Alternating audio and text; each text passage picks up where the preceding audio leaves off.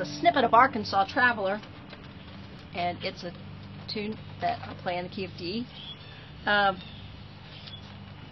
I want to talk a little bit about how um, I use a false nut, otherwise called a reverse capo. Um, I'll use the term false nut because that's the term I use. Um, what is a false nut or reverse capo? Well, it's a, here's one right here. And how I made mine was I ate at a Chinese restaurant with chopsticks and brought them home, and then I cut a piece of chopstick to approximately the length of my index finger. This one is. I mean, I just cut it when I did it. I wasn't measuring carefully or anything, but it's about as long as my index finger.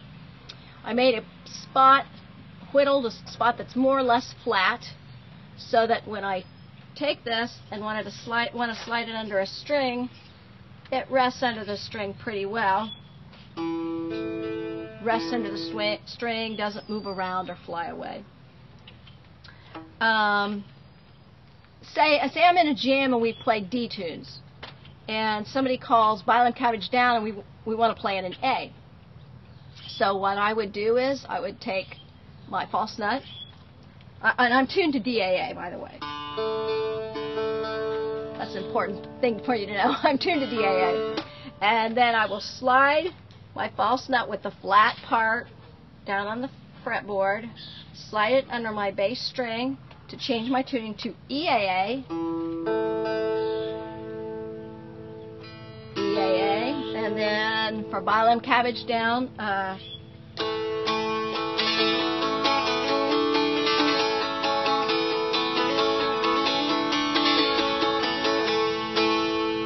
hear that I'm in the correct tuning then to play Bile 'Em cabbage down out of the key of A.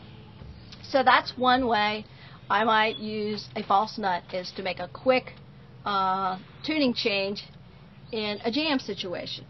Uh, it'd be a good idea. I have a tuner on. It's a good idea to check your tuning between when you use when you put a false nut in, um, and then when you take it out. It's a good idea to check your tuning to be sure then your tuning's still in good shape. So anyway, that's one way one setting in which I might use a false nut. Now, I'm going to talk about um,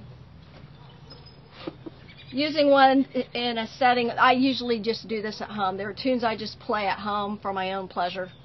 And I have this dulcimer tune in bagpipe tuning, low D, D an octave higher, D an octave higher. And what I will do out of this tuning is I'll take my false nut and I will slide it under the bass string and the middle string to raise those two D's to E's. E, E, D. And then I'll play, might play something like this.